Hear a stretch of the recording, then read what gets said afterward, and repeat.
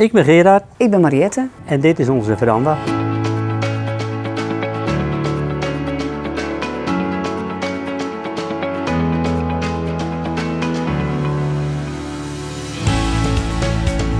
We wouden graag meer buiten verblijven, omdat we graag buiten zitten.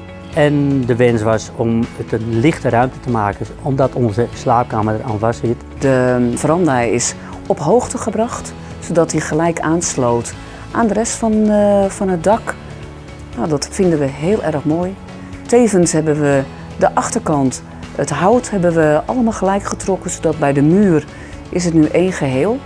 Omdat de veranda voor de slaapkamer is gebouwd, wouden we graag nog wat meer licht in de slaapkamer hebben en zodoende is er ook een dakraam ingekomen. Verder wouden we graag een afgesloten schuifdeuren erin hebben, zodat we ook als het wat kouder is ook er nog kunnen zitten. Dus we hebben er twee terrasverwarmers in laten monteren voor de eventueel wat koelere avonden.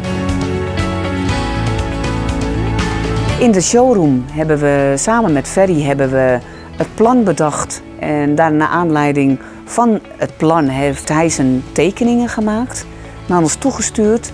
En ook aangepast als we daar aan- en opmerkingen bij hadden. Dus we konden op die manier konden we het hele project naar onze hand zetten. Dat was heel fijn om dat op deze manier te doen. En we zijn gewoon heel blij met eh, zoals het eruit is gekomen.